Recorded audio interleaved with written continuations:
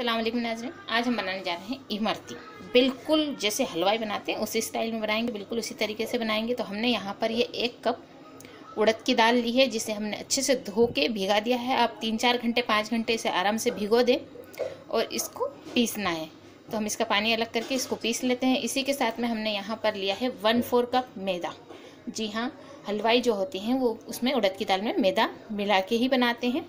तो ये one four cup मैदा लिया है। साथ में हमने लिया है food colour, red orange colour कहते हैं इसे। ये डालने से कलर बहुत अच्छा आता है। साथ ही में हमने जितनी उड़द की दाल ली है उसके दो गुना चीनी, यानी कि शक्कर ली है।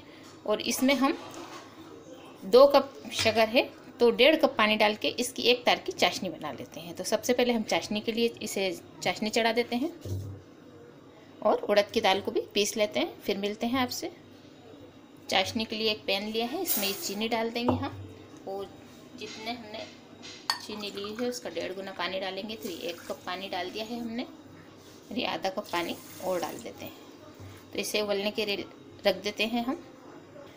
तो ये उड़द की दाल मैंने पीस के तैयार कर ली है। अब हम इसे एक बड़े बर्तन में निकाल लेते हैं। अब हम इसमें फ़ूड कलर डाल देंगे। दो पिंच डालें।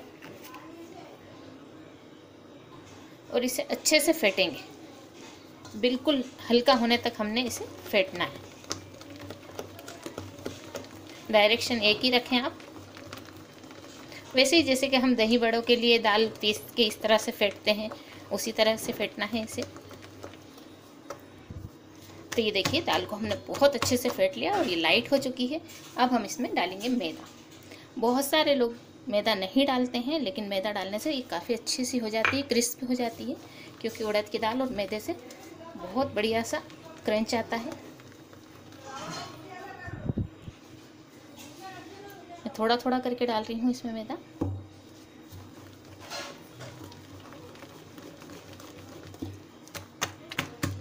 मैंने सारा मैदा डाल देती हूँ।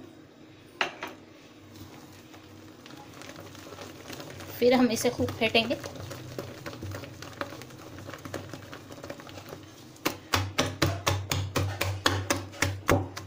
ये तैयार हो चुका है। ये देखिए कितना लाइट है। अब मैं इसे 10 मिनट के लिए ढक के अलग रख देती हूँ। इधर ये हमारी चाशनी तैयार हो रही है। हमने इसे उबलने के लिए रख दिया था। इसमें डाल देते हैं हम तकरीबन एक टीस्पून के करीब नींबू का रस। इससे दो काम होंगे कि जो चीनी में मेल होता है वो भी निकल जाएगा और जो शक्कर है, उसकी चाशनी बनाते हैं तो जम जाती है, वो भी नहीं जमेगी। हमें इसकी पतली चाशनी बनाना है, सिर्फ़ एक तार की। चीनी अच्छे से घुल चुकी है। तो शक्कर तो अच्छी साफ़ है, इसमें ज़्यादा मेल नहीं है तो अब मैं इसमें डाल देती हूँ फ़ूड कलर ये ऑप्शनल है, लेकिन आप डालेंगे तो कलर बहुत अच्छा आएगा। और आप चाहें तो थोड़ी सी केसर डाल दें इसमें। मैं यहाँ पर चाशनी कम बना रही हूँ, वैसे तकरीबन इसमें आधा किलो चीनी, यानी 500 ग्राम चीनी जाती चाशनी बनाने में इतनी, जब हम इमरती बनाएँगे तो लेकिन मैं इसका बैटर उठा के रख दूँगी बाकी का। तो चाशनी हमारी हो चुकी है इसे चेक कर लेते हैं। सिर्फ़ हमें ऐसी चिपचिपी सी चाशनी चाहिए। ये थोड़ा रखने के बाद में और गाढ़ी हो जाएगी। नींबू के बीज जो गिर गए थे, वो निकाल दिए हैं हमने। और गैस की फ्लेम ऑफ़ कर देते हैं। इसे रख देते हैं साइड में। इधर हमने एक फ्राई पैन लिया है और इसमें घी गर्म होने के लिए रख दिया ये देसी घी है, आप चाहें तो इसे तेल में भी बना सकते हैं या वनस्पति घी में भी बना सकते हैं। वो बिल्कुल मैंने अभी स्लो फ्लेम पे रखा है। देखिए, इसको 10 मिनट हो गए और ये देखिए, आप ये देख सकते हैं, ये इस तरीके की जो जाली बन रही है, ये बनना चाहिए। ये देखिए, ये। अब हम इसे इस तरह की की बॉटल आती है, केचप वाली सॉस के लिए तो आप या तो ये ले लें, इसका नहीं तो आप ऐसा जिपलॉक बैग ले लें, नहीं, ये भी दोनों नहीं हो तो आप दूध की थैली जो आती है, उसे ले लें। तो मैं इन दोनों में से पहले बॉटल का यूज़ करूँगी। और ये, हमको इसका बैटर थिक चाहिए, बहुत पतला नहीं चाहिए। तो भी इस तरह से मैंने इसको चम्मच से ऐसे भर लिया है बॉटल को। आप देख सकते हैं। अब हम इसको, इसकी कैप लगा देते हैं। तो ये हमारा अच्छा गर्म हो चुका है। हम इसे एक बार चेक कर लेते हैं।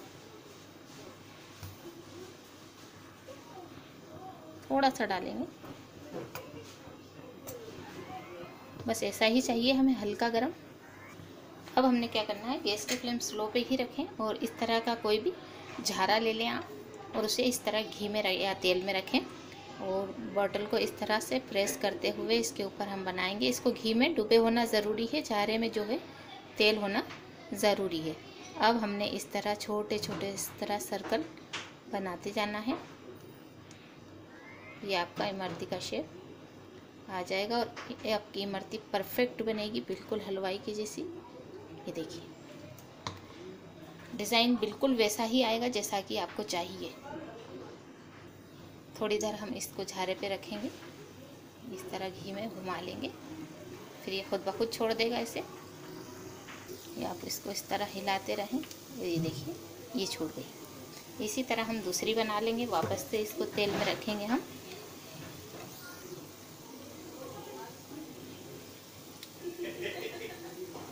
ये देखिए दो सर्कल ले लें आप, उसके बाद इस तरह छोटे छोटे छोटे छोटे सर्कल बनाएँ। एक दो बार करने से आपको प्रैक्टिस हो जाएगी और आप बहुत आसानी से बना सकते हैं। फिर हम कुछ देर इसको इसी तरह घुमाएँगे घी में। गैस की फ्लेम आपने स्लो पे रखना है। घी बहुत ज़्यादा गर्म भी नहीं चाहिए और बहुत कम गर्म भी नहीं चाहिए। ये देखिए, इसने छोड़ दिया है। दो हो गई है। इसी तरह हम सभी बना लेंगे। हालाँकि हलवाई डायरेक्ट कढ़ाई में बनाते हैं, वो इस तरह झारे में एक एक नहीं बनाते हैं, वो बहुत फास्ट बनाते हैं।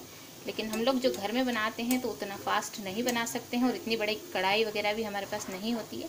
अब हम इसको पलट देंगे। इसको पलटना भी बड़ा आसान है, कुछ ख़ास ये देखिए, नहीं लगता है इसमें। और इसको हल्के से देखें, अगर ये नहीं निकल रहा हो तो इस तरह करें आप, ये। जगह थी तो मैंने एक और डाल दी है। इस समय मैंने गैस की फ्लेम थोड़ी सी बढ़ा दी है ताकि ये अच्छे से क्रिस्पी हो सके। बहुत ज़्यादा स्लो फ्लेम रखेंगे हम तो ये काफ़ी घी या तेल सोख लेंगे, जिसमें भी आप बना रहे होंगे और उतना मज़ा नहीं आएगा खाने में। मीडियम कर दी है।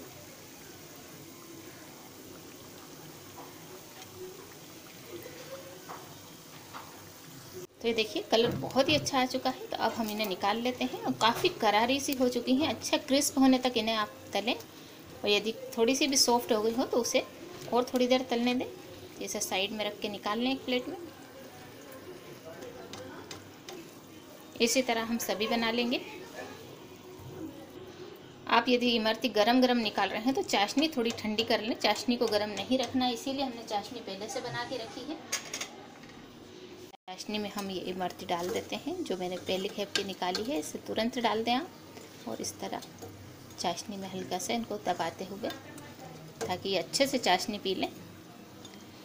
इसी तरह सभी को डालते जाएँगे, इन्हें निकाल लेंगे और दूसरी डाल देंगे। तो ये देखिए, अब हम इन्हें निकाल लेते हैं और दूसरी को डाल देंगे। बहुत ज़्यादा देर इसको चाशनी में नहीं रहने दें।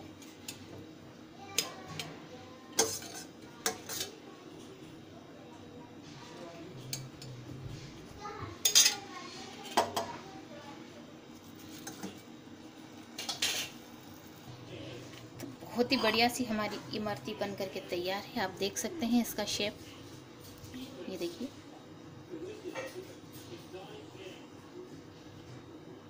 इस ट्रिक के साथ आप बनाएँगे तो बहुत ही अच्छी इमरती बना पाएँगे। बहुत ही मज़े की बनती है और बहुत आसानी से बन जाती है तो आप भी बनाए, ज़रूर बनाएँ, इसी तरीके से बनाएँ। और यदि आपको हमारा वीडियो पसंद आता है तो इसे लाइक कीजिए, शेयर कीजिए और हमारी चैनल को सब्सक्राइब ज़रूर कीजिएगा। आप सभी का धन्यवाद। देखिए, बहुत ही टेस्टी सी बनी है। ये देखिए, बिल्कुल रस भरी इमरती बन करके तैयार है। ये देखिए, इतनी रसीली दिख रही है। बहुत ही मज़े की बनी है तो आप भी ज़रूर ट्राई कीजिएगा। इस रमज़ान, अल्लाह हाफिज़।